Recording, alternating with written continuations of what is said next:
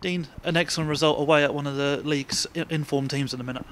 Yeah, good result, good performance. I thought our tour goal was absolutely outstanding. Obviously, the way the game started, we were in control, and the ref gave a penalty. He's been kidded, the referee. The lads bought the penalty. Addy hasn't touched them, and um, you know, it's, it's, it's just it's a dive. It's as simple as that. It's disgusting from the lad buying the penalty, but it is what it is, and the character we showed to come back from that. Um, the instructions the lad took on board, the lads took on board at half time. We wanted to get Freeman in the pocket more, get him on the ball, and he started to hurt him second half. Really started to hurt him. So, um, great performance from, from the lads. Over the last few weeks, we've been talking about being clinical in front of goal. Today, four different goal scorers and four goals for the team. You must be impressed with that. Yeah, delighted with it. Yeah, yeah. Look, uh, the most thing that pleased me, the first two goals are looking down the barrel of the goal. Obviously, they come and try pressure.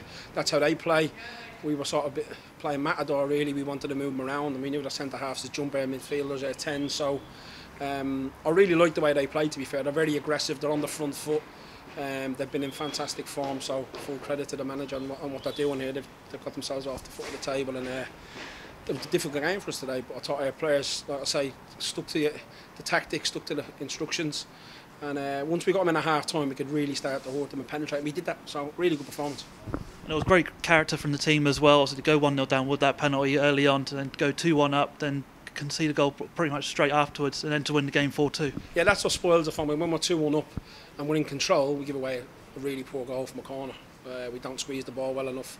Uh, they get two v one against us. Obviously, one of the lads hasn't done their job.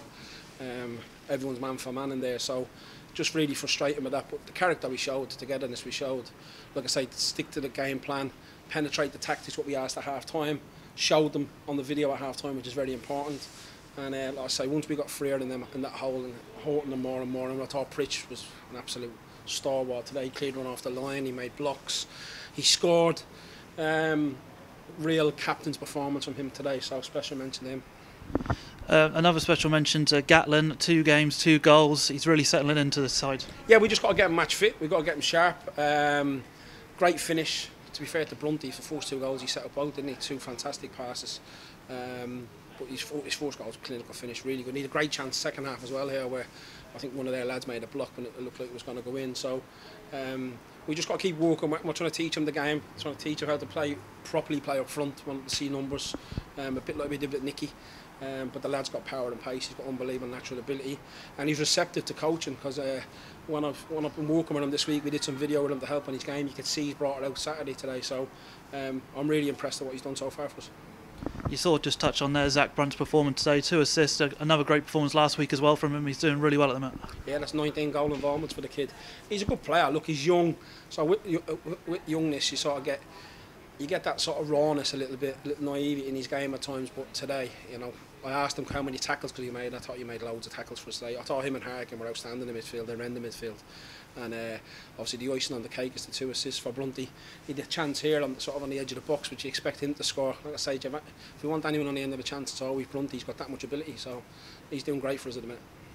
Um, one name missing from the team sheet today was Nicke Kabamba. He was involved on the bench last week. Uh, just his injury playing? Yeah, his injury's come back again, so he's got a slight hamstring. So we'll see how he is for Tuesday. We're hoping he'll be back for Tuesday night.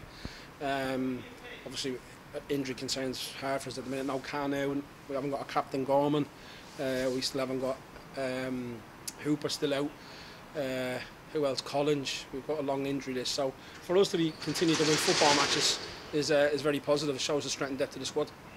We also saw Ade come off today after going down. Have you managed to speak to him after the game and yeah, what happened to him? He had a bang on his knee, so we just took no risks and just got him out. It's just a clash of knees, so uh, he should be okay. It's just it's just an impact injury.